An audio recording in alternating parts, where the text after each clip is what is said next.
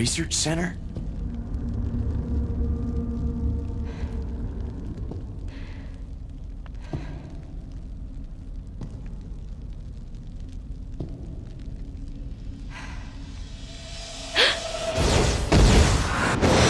the first general manager, Dr. James Marcus. Who on earth are those people? She's just a rookie, a member of STARS. Hmm, what about the male? I'm unfamiliar with him. Attention. This is Dr. Marcus. Please be silent as we reflect upon our company motto.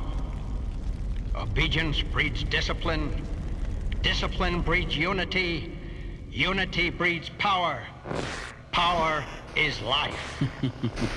Who are you? It was I who scattered the T-virus in the mansion. Needless to say, I contaminated the train, too. What? Revenge. On Umbrella.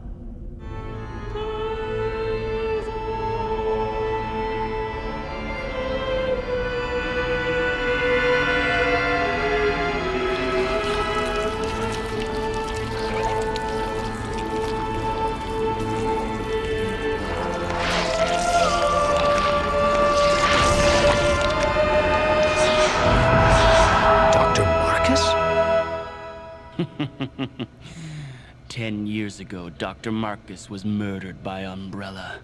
You helped them, didn't you?